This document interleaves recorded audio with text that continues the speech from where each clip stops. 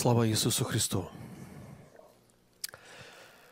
Я благодарю Бога за возможность быть здесь и видеть всех вас.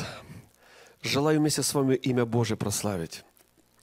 Я всегда говорю, чем мне нравится Христос, почему я его люблю. Он удивительный и прекрасен. И я говорил, и еще хочу сказать вам, если Господь начинает разговор, иногда Он это делает из вопроса – и всегда, когда Он что-то спрашивает у нас, Он желает нам помочь. Сегодня вы услышали один из вопросов. Дети, есть ли у вас какая-либо пища?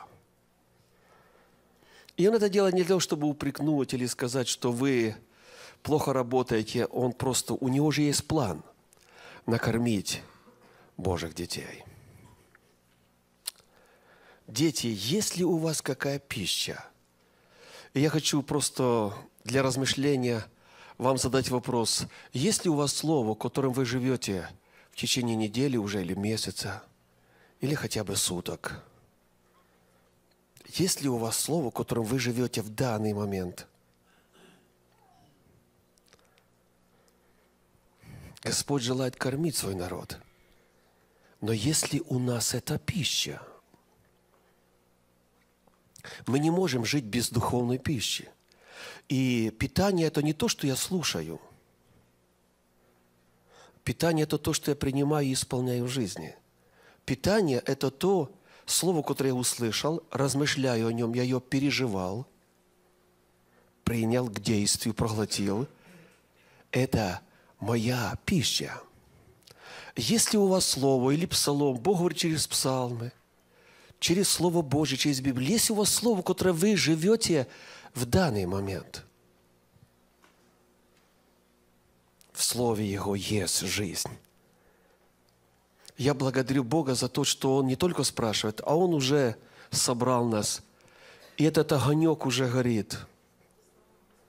Приготовляется пища. Бог желает накормить своих детей. Это ее любовь и милость. Я хочу сегодня проповедовать на тему «Три дома». Было время, когда просто это слово пришло в мое сердце. Вы кое-что слышали, но сейчас вы должны услышать все. Три дома. Каждый человек, который живет на земле, он должен иметь три дома – три дома. И я хочу вам искренне сказать, что это результат больших жертв и серьезных усилий. Кто-нибудь из вас имеет хотя бы один дом, где вы живете? Имеете? Чтобы его иметь, некоторые вообще его не имеют, живут, например, в апартаментах. Но кто его имеет, то он знает, что это чего-то стоит, так или нет. Но если один день, один дом чего-то стоит, то три дома тем более – это много усилий, это много жертв, это много работы. Но я буду говорить не только о буквальных домах, в которых мы живем. Я буду говорить о доме, поэтому в первую очередь, что же такое дом? Дом – это место, куда мы желаем приходить и где нас ждут –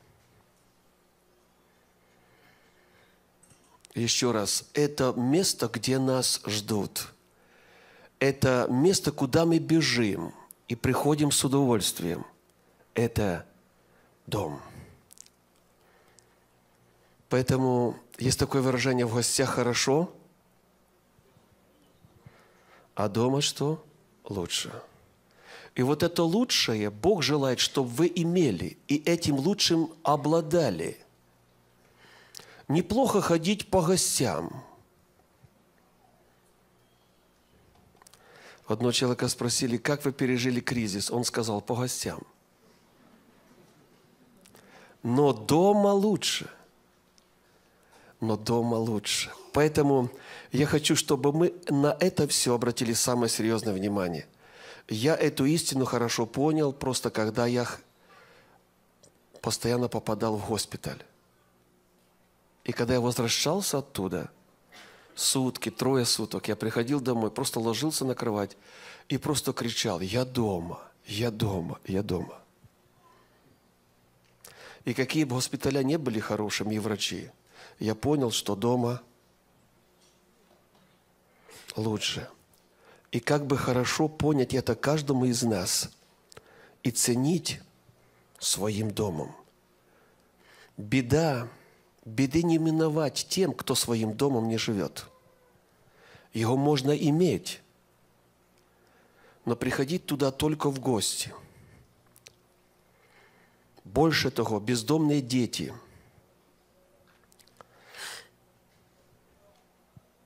Разве это не ужасно? Да, можно жить в интернате, и дети там живут, но дома что?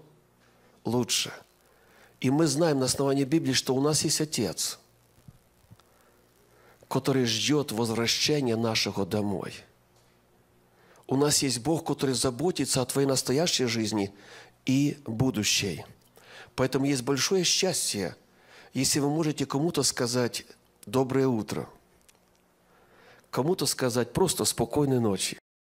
Просто иметь вот этот уют, благословение и порядок. Знать, что тебя где-то ждут. Знать, что тебя где-то встретят. Знать, что тебе кто-то приятное что-то скажет – это иметь огромные благословения. Очень часто мы не ценим дом и не живем жизнью дома. Но еще раз хочу повторить, в гостях хорошо. Спасибо. Итак, номер один, дом, о котором мы сегодня будем говорить. Дом номер один – это семья, дом, куда мы можем прийти и отдохнуть телом, душою и духом – то есть это не только кирпичные стены, это не только просто большой дом, красивый дом. Это неплохо. Я говорю о том, что в доме внутри происходит. Поэтому это не только стены и потолки, но это уют, это порядок, это то место, где нас ждут и куда я просто готов прийти с большим удовольствием. Что происходит в наших домах сегодня? Мы бежим домой или же из дому? На основании Библии и практической жизни все определяют люди, которые в этом доме живут. Они могут, могут превратить свой дом в маленький ад или в рай на земле. Маленький рай – или же еще могут превратить свой дом в гостиницу, куда они приходят периодически переночевать, но они дома не живут. Что происходит в нашем доме? Я не открываю секрета, но хочу сказать, что ад и рай начинаются на земле. И я говорил вам, что беседуя с семейными парами – я услышал однажды, как проходит ваша жизнь. И жена сказала, маленький ад. Не каждый это решится сказать, но я здесь, чтобы еще и еще раз спрашивать, что происходит в вашем доме. И я сказал в самом начале, если Бог что-то спрашивает, то Он желает что-то поменять и помочь. Вообще, наше христианство, оно тестируется или проверяется именно дома, не в церкви, а дома – Поэтому в Библии так написано, это Давид говорит о себе, о своих выборах, он буду размышлять о пути непорочном. Когда ты придешь ко мне, буду ходить в непорочности сердца моего посреди дома моего. То есть он говорит, какой я дома, такой и в церкви. Какой я в церкви, такой я на работе. Буду ходить в непорочности сердца моего посреди дома моего. Вы видите здесь стишок. Лучше кусочек сухого хлеба, и с ним мир, нежели дом полный заколотого скота с раздором. Мы здесь, живя в Америке, мы не испытываем каких-то серьезных материальных проблем, хотя они бывают. Но тем не менее, Библия говорит, что лучше жить в нищете, но в мире, нежели иметь практически все, но не иметь ни мира, ни покоя – Что происходит в вашем доме? Часто, когда общаюсь я с родителями, то люди по-разному просто отзываются о своей жизни. Но если они говорят что-то отрицательное, то при этом обвиняют кого-то. Вы уже слышали, например, меня дети раздражают. Вроде человек и кается, но с другой стороны виновны, то в принципе дети. И я таким родителям говорю так, что дети не умеют другой работы делать, как только раздражать. Подрастут чуть-чуть, помогут. Но это не значит, что мы должны раздражаться. Это значит, что в нашем доме нет порядка. Это значит, что в твоем сердце раздражение живет. Если оставить в покое детей, то родители говорят так, это если бы моя жена была другая, если бы она делала то и то, все было бы у нас хорошо. А жена о муже. Если бы он хотя бы немножко изменился, то у нас был бы этот маленький рай. В принципе, нам хочется всех поменять, лишь бы меня не трогали. Но Бог начинает работу из вашего сердца. И когда меняюсь я, меняется моя семья. Меняется семья, меняется церковь. Что происходит в нашем доме? что происходит в вашем доме. Имеете ли вы этот дом, где вы отдыхаете не только на красивых диванах, еще раз говорю, духом, душой и телом. Важно платить большую цену, надо жертвовать собой, надо умирать для своей гордыни, чтобы этот рай пришел в твою жизнь.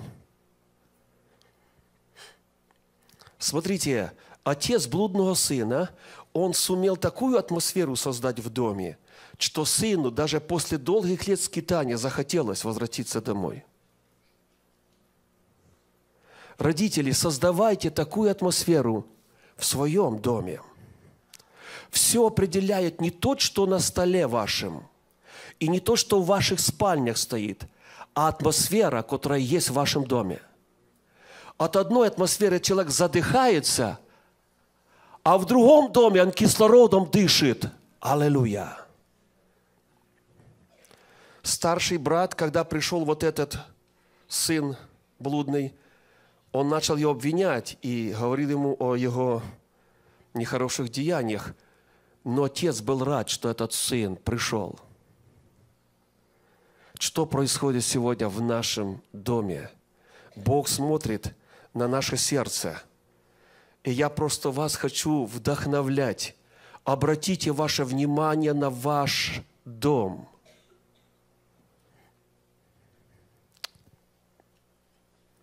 Я сегодня перед собранием, скажу вам секрет, просто зашел в туалет. И там никого не было, только какой-то малыш вот такой. Ну, не знаю, может быть, 7-8 лет. И он подошел, говорит, пастор, будьте дома. Я думаю, ничего себе. Ничего себе. Он ушел, я думаю, я хотя бы имя спросил, что он, что он. Но он меня просто шокировал. Говорит, пастор, будьте дома. Если детям это нравится, друзья мои, как бы я хотел, чтобы мы поняли вот эти очень важные истины. Я прошу вас всех, берегите и устрояйте ваш дом – Каждый день ее делайте лучше внутри, не снаружи. Я не против, но внутри.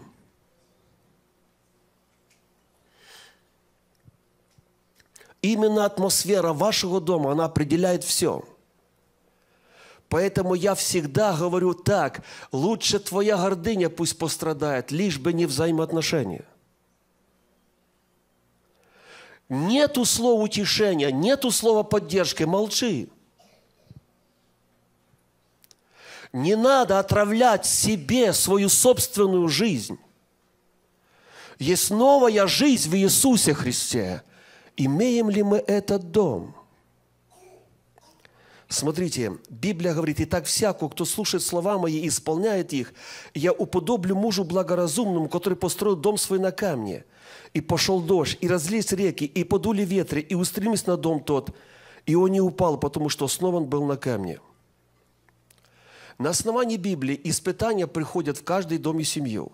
То есть Бог обращает внимание не на то, как мы ведем себя в церкви, хотя и здесь мы должны вести себя хорошо, а как мы ведем себя в повседневной жизни. А в каждодневной жизни на нас веют ветры, правда или нет? Буря поднимается, волны, напряжение, какие-то неудачи, какое-то недопонимание.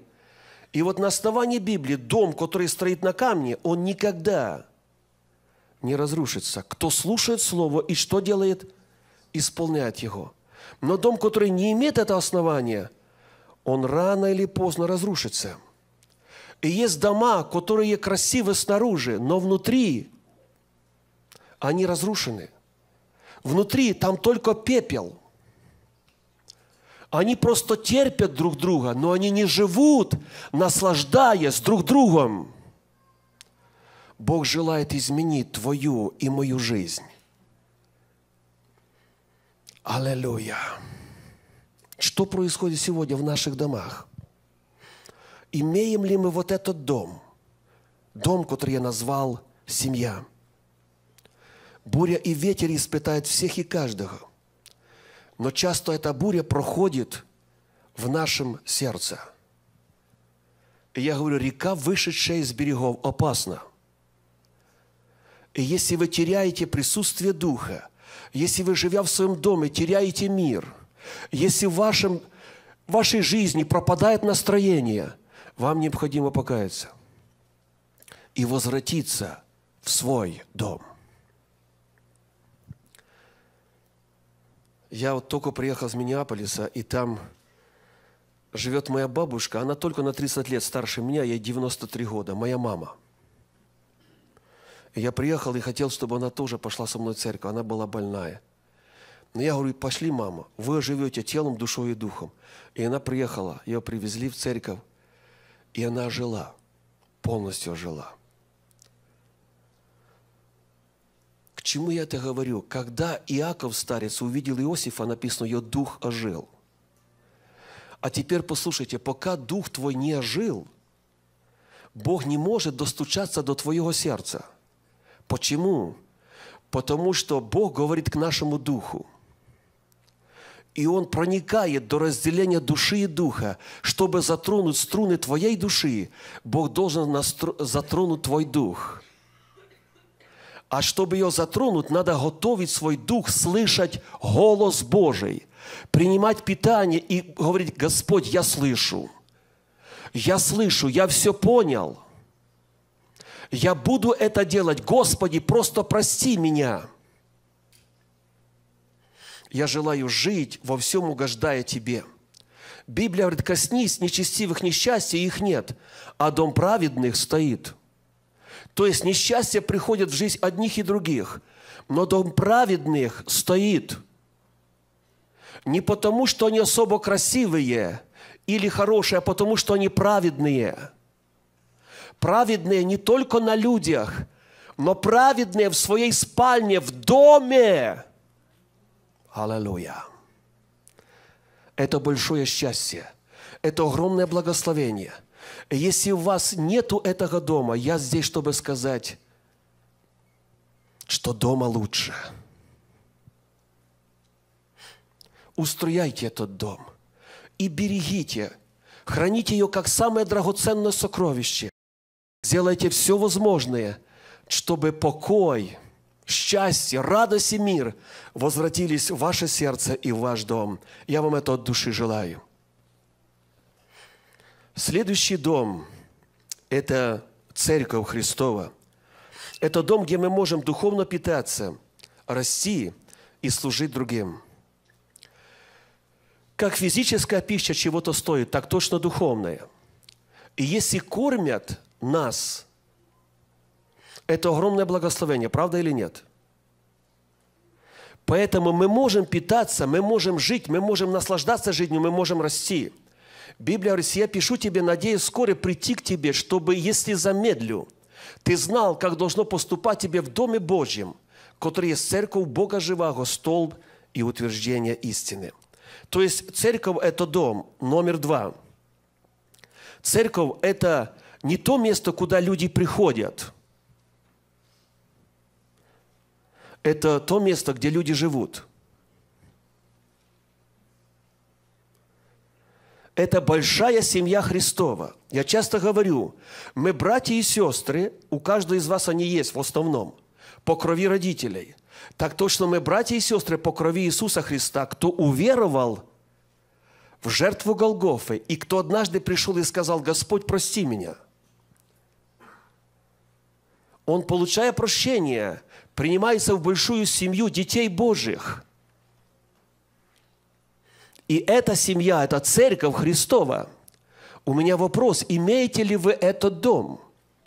Я еще раз повторяю, это не те люди, которые посещают церковь. Это даже не те люди, которые являются членами церкви но это те люди, которые живут жизнью церкви. У нас должно быть правильное отношение к церкви и к людям. Когда-то в свое время Савл написал, гнал церковь Христову. Но когда я встретил Христос, то он сказал, Савл, Савл, что ты гонишь меня? Если вы знаете, как надо себя вести в гостях, так точно вы должны знать, как вести себя в церкви Христовой, да или нет – возникает вопрос, имею ли я этот дом? Дом номер два. Очень важно, друзья мои, выбрать церковь и посвятить себя Церкви Христовой. Я часто говорю эту истину, я в это верю, я в этом убежден. Некоторые даже членами становятся через годы. Но те, которые стали уже членами – они не все жизнью церкви живут. Поэтому я спрашиваю всегда не то, где ты какую-то церковь посещаешь, а каким служением ты там трудишься. Вот где начинается жизнь. Мы или прихожане, или церковь – это разные вещи. Являюсь ли я церковью Христовой? Какое мое отношение к дому? Имею ли я этот дом –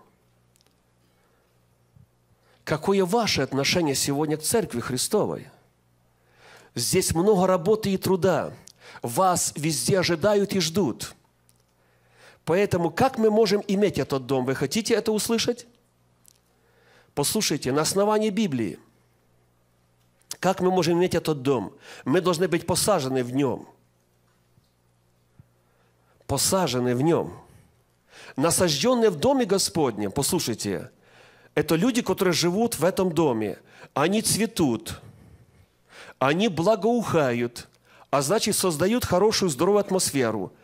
Во дворах Бога нашего они в старости плодовиты, сочные и свежие. Это благословенная старость. Это цветущая молодость. Это лучшее, что человек может иметь в этой жизни. Имеешь ли ты этот дом? Строительство этого дома для Христа стоило его жизни – он умер за каждого из нас, чтобы этот дом ты мог иметь. Выбираем мы, буду я его иметь или нет, но у вас есть шанс. У тебя есть возможность. И если ты чувствуешь, что ты этого дома не имеешь, он есть. И церковь Бога пока еще на земле. Мы должны быть посажены. Какая же польза от насаждения? Почему важно быть посаженным? Это следующее, что я хочу, чтобы вы услышали. Когда вы посажены, у вас есть возможность проявить себя и испытать радость своего труда. Я часто говорю своим, и мои братья и сестры уже знают. Вы знаете, какое собрание самое лучшее? Вы были хотя-нибудь, когда-нибудь в хорошем собрании? Были или нет? Я скажу, какое самое собрание лучшее. Обратите меня, запомните. Это собрание, которое Бог благословил, и это собрание, в котором я участвую –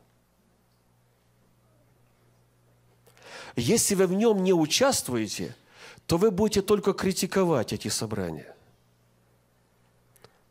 А если вы участвуете, то вы будете сопереживать и устроять эти собрания. Вот что значит возможность проявить себя. Я говорю, если у меня во дворе посажены мандарины, то они дороже чем в любом магазине города, потому что они мои. Сейчас их пока нет, но скоро будут. Я их до Нового года не срываю, потому что они мои. Это внимание, забота. Если вы посажены, вам гарантирована забота и внимание всех остальных членов церкви. Многие этого внимания ждут, но они не посажены. Они, убежаясь, уходят из церкви, говорят, ко мне не подошли, ко мне никто не сказал добрый день. Я никогда этого не жду, я подхожу. Внимание и забота будет, если ты живешь жизнью дома Господня. Ну и последнее – это здоровая окружающая атмосфера. Послушайте, когда вы приходите в церковь, то все определяет не то, какие псалмы мы спели там, или кто определяет атмосфера здания – Люди приходят в церковь, они за 10 минут определяются, придут они сюда еще раз или нет. За 10 минут. Все определяет атмосфера, как в доме, так и в церкви. Поэтому мы должны все сделать возможное, чтобы она была здоровой. Как узнать, я имею этот дом или нет? Еще раз.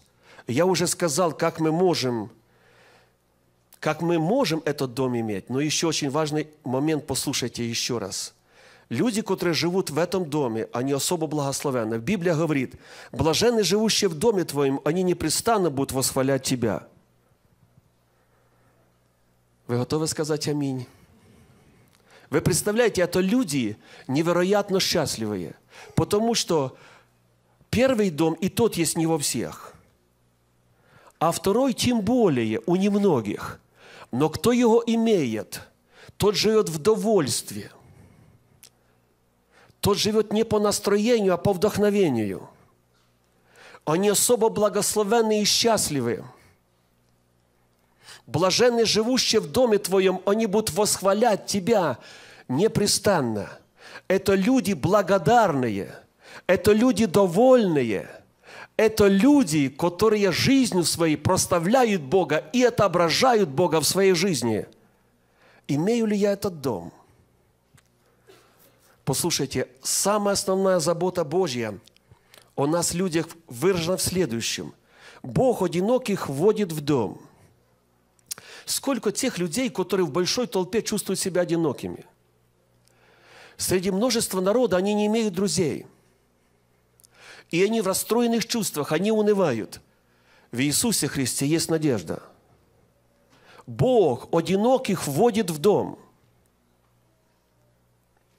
освобождает узников от оков, греховных оков, а непокорные остаются в знойной пустыне. Вы даже не представляете, как живут люди сегодня вне Церкви Христовой. И в основном это их личный выбор. Библия говорит, что они остаются в знойной пустыне. Кто? Непокорные люди. И непокорные люди, они есть практически в любой церкви – они из практической жизни. Они приходят, но они не собираются никого слушать. Мне этого человека очень жаль. Они покорные остаются в знойной пустыне. О Господи, благословенны люди, которые живут в довольстве. И если тебе друга не хватает, Христос желает стать твоим лучшим другом. Он хочет вести себя в дом, где совершенная радость, где для тебя приготовлен стол и пир. Аллилуйя. Имеем ли мы этот дом? Я здесь, чтобы сказать добро пожаловать в Церковь Христову. Еще раз, добро пожаловать в Церковь Христову. Жизнь течет в теле Церкви Христовой. Часто мы не ценим и не устрояем этот дом. Но Библия говорит, и вы сами, как живые камни, устрояйте из себя что? Дом духовный. Другими словами, создавайте атмосферу. Не отравляйте, но создавайте. Это связано с большими жертвами. Надо умирать для себя, чтобы жить для Бога и других. Созидайте эту атмосферу в Церкви Христовой. Посвятите себя Церкви. Не просто присутствуйте, но служите, живите жизнью Церкви – Будьте тем материалом, который можно использовать в строительстве Дома Божья будьте живыми камнями. Аминь. Во имя Иисуса. Поэтому определись в служении. Не будь только потребителем. Я здесь, чтобы сказать вам или спросить у вас, вы здесь дома или в гостях? Аллилуйя. Вы знаете, я вот это путешествовал с студентами, то, что было удивительно. Каждый день собрания, белые рубашки, целая полная аудитория, полные залы. И так понедельник, вторник и каждый день. И кажется, что мы приходим к людям, говорят, извините, но у нас каждый день воскресенье. У вас может быть понедельник, вторник, а у нас каждый день воскресенье. И сегодня мы уже третье собрание имеем здесь на месте.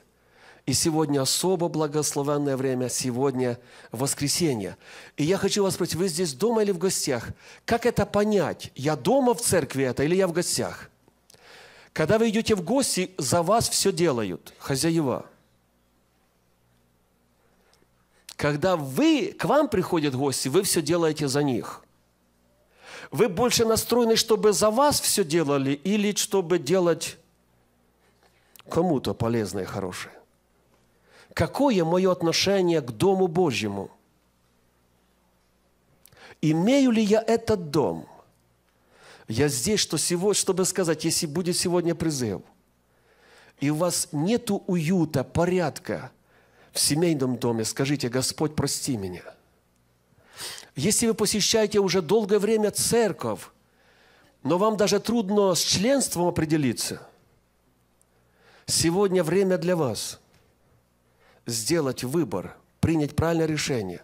Если вы этот шаг сделали, но у вас нет служения, вы с трудом по воскресеньям приходите в это здание, пожалуйста, я умоляю вас, приобретите этот дом – вы ее можете иметь, даже если у вас денег нету. Но у вас, если есть чувствование правильное, сострадание, если у вас есть любовь, вы можете здесь приложиться всем вашим сердцем, и этот дом расцветет. Служение изменится благодаря тебе, твоей жертве. Огонь приходит на жертву. Аллилуйя. Добро пожаловать в дом Господень. Ну и последнее – это небесный дом. Это дом – о котором мы должны думать и куда мы должны стремиться. Этот дом, собственно, и будет нашим домом во веки и веки. Ибо мы знаем, послушайте, третий дом, ибо мы знаем, что когда наш земной дом, эта хижина разрушится, мы имеем от Бога жилище на небесах, дом нерукотворенный и вечный. То есть это то, к чему мы должны стремиться. А теперь послушайте. В отличие от вашего дома, где вы сейчас живете – на основании Библии тот дом уже давно построен. Благодаря жертве Иисуса Христа и Его воскресению.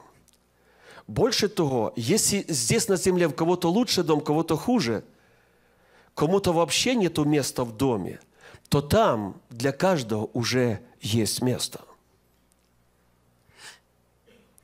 Вчера все эти дни пели псалом такой, «Небеса манят и ждут меня». У меня вопрос, а как в твоей жизни? Они тебя манят, или ты думаешь, хорошо, что они там себе есть, пусть они себе будут, а мне и здесь кажется вроде бы неплохо. Небеса манят и ждут меня. То, что они ждут, это точно. И я хочу, чтобы Дух Святой затронул свое сердце сегодня, чтобы ты просто потянулся своим сердцем к небесам. Итак, еще и еще раз обращаем внимание на это Слово Божье. Смотрите, наше же жительство на небесах, откуда мы ожидаем Спасителя Господа нашего Иисуса Христа. То есть мы здесь только путешественники или странники. И мы должны именно так жить, как живут кто странники. Мир толкает нас, чтобы мы заботились о нашем благополучии, о достатке – и многие христиане, которые верят в загробную жизнь, в вечную жизнь, они живут так, как будто они здесь на земле собираются жить вечно.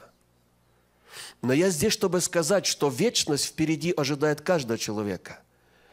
Человек – это чело вечности. Верит это в человек или нет, но впереди у тебя вечность с Богом или без Бога. И сегодня мы должны просто позаботиться о том, чтобы вечность нашу провести именно с Иисусом. Я рад, что я имею возможность с вами идти по жизни, достигая этой возвышенной цели. У нас есть цель, и мы должны к этой цели стремиться. И не делайте ничего, что не имеет смысла в вашей жизни. Держитесь цели. Не тратьте свое время на пустоту, на суету, на ложь. У нас есть цель.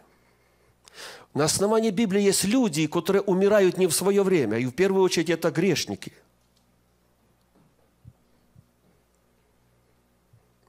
Но у нас есть цель, у нас есть выбор, у нас есть смысл в нашей жизни, и мы должны к этой цели стремиться во имя Иисуса.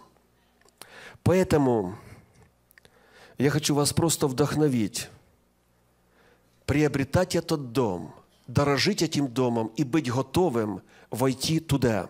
Поэтому как мы можем иметь этот дом? Послушайте. Наше будущее зависит от того, кто сейчас живет в нашем доме. Почему? Потому что мы знаем, что вот этот дом, вот, например, любой дом, в который вы живете, он стареет и разрушается то вот когда здание разрушится, то будут строить новое. В нашей же практической жизни, когда наш дом, а все мы дома, ходячие дома, и в этом доме, в твоем сердце, в моем сердце кто-то живет. И когда дом наш разрушится, то останется только то, что в сердце твоем живет. И то, что в сердце твоем живет, определит, где ты будешь проводить вечность. Поэтому как мы можем иметь этот дом? Послушайте – Библия говорит, что добрый человек из доброго сокровища выносит доброе, а злой человек из злого сокровища выносит что? Злое. Вот все. Что живет в нашем сердце? Как часто вас посещает, например, раздражение?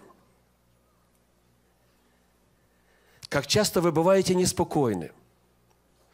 Очень часто мы, как люди, не, не готовимся перейти в этот дом.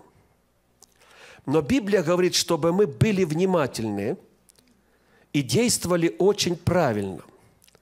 Есть такая песенка, которую мы пели в детстве. «Дом мой, детство начало. Дом мой, где нет печали. Дом мой, я хочу возвратиться в отчий дом». К чему призывает нас Бог и Библия? Послушайте. Дети Божьи, домой собирайтесь. Ты же сын человеческий, изготовь себе нужное для переселения.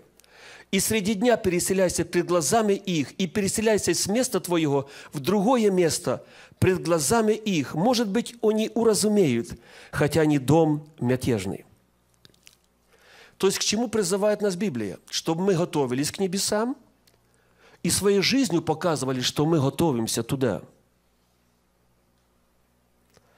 Если люди идут на рыбалку или собираются отдыхать, они к этому готовятся, так или нет? Мы ничего не делаем без подготовки. И здесь никаких чудес не будет. Если готов, значит готов. Если не готов, значит не готов. Ибо те, которые так говорят, они жизнью показывают, что они ищут что? Отечество. Что сегодня происходит в нашей жизни? Сколько в нашей жизни ненужных вещей? Ты же, Сын Человеческий, возьми себе просто нужное для... Все ненужные вещи, они просто будут отягощать тебя. Я вот только когда ехал с студентами, был выбор номер один, что взять с собой, а что не взять. И я взял рубашки и тенниски, и все тенниски провозил зря, потому что был на севере, где была температура около ноля. Но взял на всякий случай. Такие мы люди. Но, друзья мои, чтобы понять, что происходит в нашей жизни, надо переехать. Хотя бы однажды в жизни. И чем чаще, тем лучше. Почему? Потому что вы будете избавляться от ненужных вещей – Ты же сын человеческий, возьми себе нужное для переселения. Все. Надо, значит надо. А не надо, значит не надо. И если мы это правильно понимаем, то все в нашей жизни будет благословенно. Имеем ли мы этот дом? Вот в чем вопрос. Этот дом уже готов, но готов ли я войти туда? Помните, я сказал вам, и еще хочу повторить эту истину. Царство Божье, оно начинается на земле. И только продолжится на небе. И если оно сейчас есть внутри человека, значит, будет продолжение там. Если нет, то продолжения не будет. Мы молимся, да будет царство Твое как на земле, так и что? На небе. Что происходит сегодня вот в нашем сердце? Мы должны быть призваны утверждать это царство и расширять, проповедуя Евангелие другим. Я хочу сказать, что если вы не живете в настоящем, не радуетесь, не пребываете в этом царстве, то будущее вам радости не принесет. Царство начинается здесь. Я говорил, когда я проповедовал одним алкоголикам, которые лечились принудительно от алкоголизма, за колючей проволокой. И придя к ним, просто мы пели, проповедовали, они были очень любопытны и задавали нам много вопросов. И один из них, поднявшись, спросил, проповедник, что такое ад? И я ему сказал, то, что вы здесь принудительно лечитесь, это ад или рай? Они встали, 400 человек, и кричали «ад». И я начал проповедовать на тему «Ад начинается на земле». Но Христос избавляет от ада. Слава Иисусу Христу! Что сегодня происходит в нашем доме? Наверное, вас интересует вопрос, что же ценится на небе? Что я должен взять для этого переселения? Так или нет? Что ценится на небе? В первую очередь это любовь мы так поем такую песню, а вместо воздуха – любовь. Во-вторых, это мир, это радость, это все, что бесценно на небе, потому что Царство Божье внутри вас есть, и это Царство что? Мир, радость. Да или нет? Праведность, которую мы имеем в Иисусе Христе. Так вот, послушайте меня внимательно. Мир не надо сохранять, когда тебя никто не трогает – Мир надо иметь, когда кто-то хочет увидеть в тебе этот мир. И радоваться нетрудно, когда все в твоей жизни складывается прекрасно. Радоваться надо тогда, когда все идет против тебя. Когда все неспокойно. Но внутри в тебя пребывает Царство Небесное. Аллилуйя.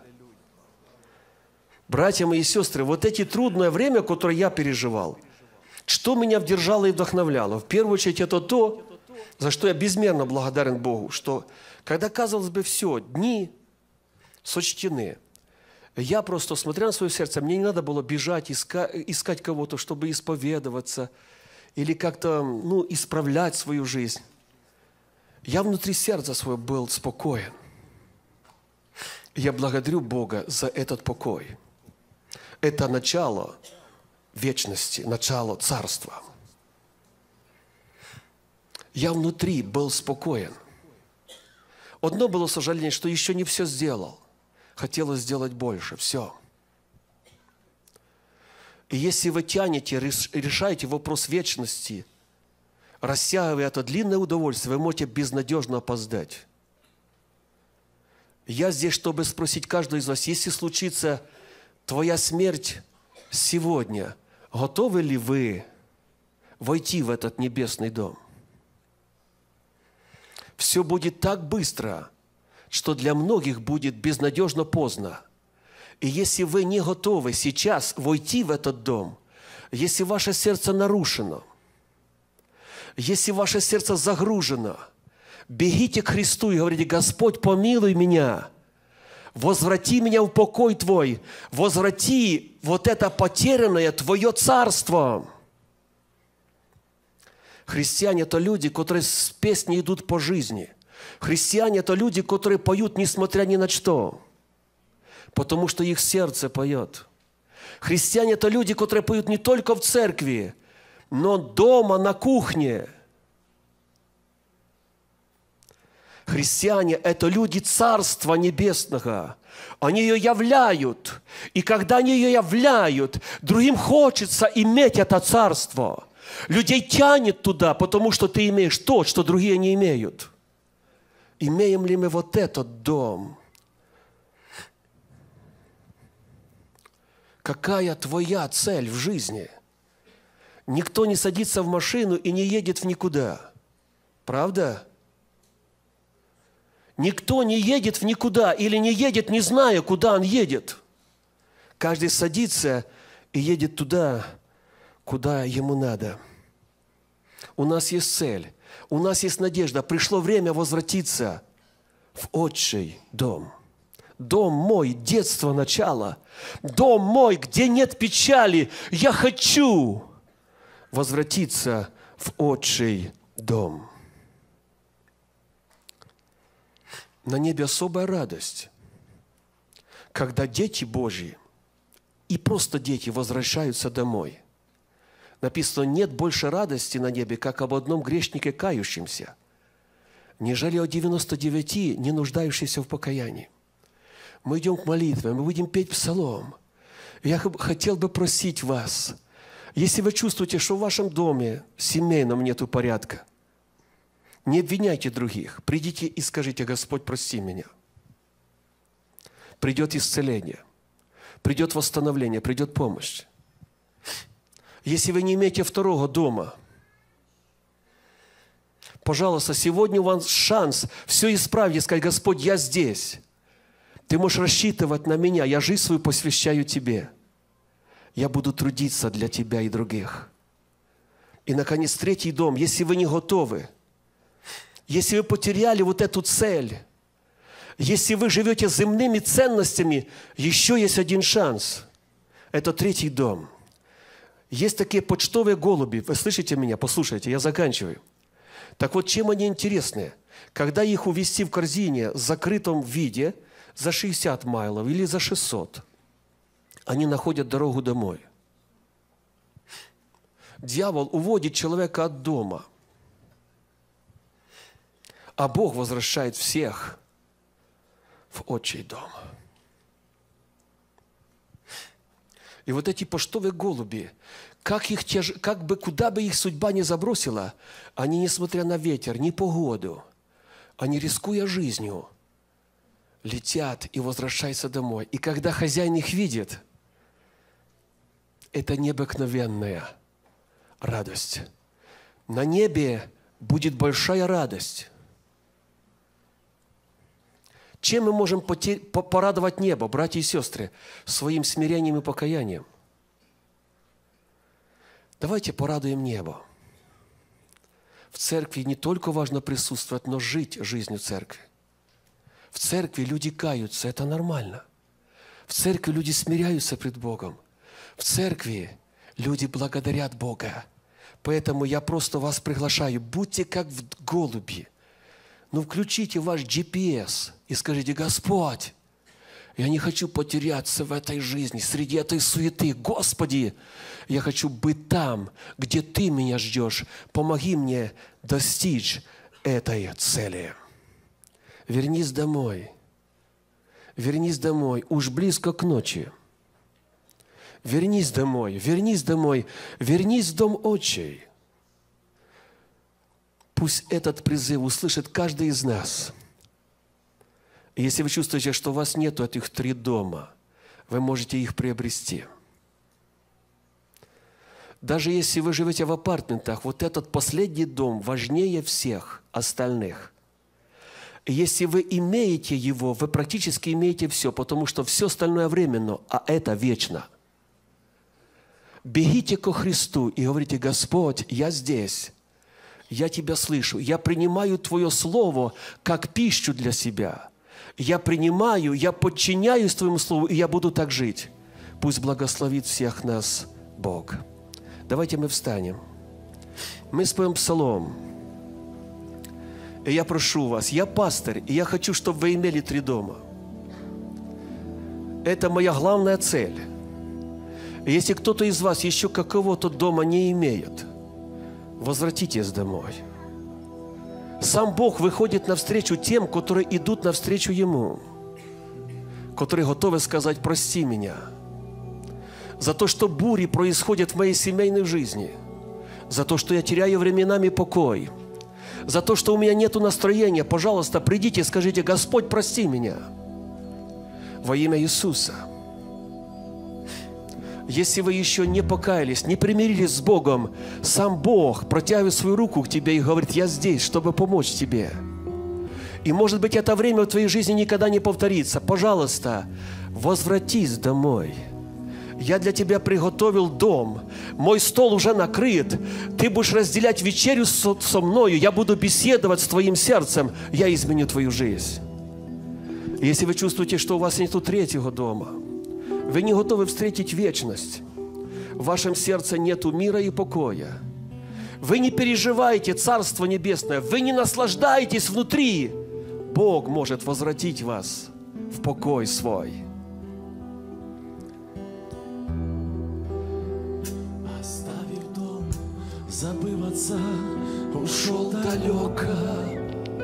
Ушел в края, где счастья нет, где одиноко за каплю счастья променял свою свободу. Заблудшим сыном стал лечить ты годы. Вернись домой, вернись домой, уж близко к ночи. Вернись домой, вернись домой, вернись домой, вернись домой, тебя там ждут забыли. Вернись, вернись, вернись домой, сын Я призываю, пожалуйста, идите домой. Идите так, как вы идете к холодильнику. Идите без страха и смущения. Идите, вас ждет Отец. А вспомни годы отцовском доме Невольно катится слеза, как вспомнишь. Вернись домой, вернись домой, уж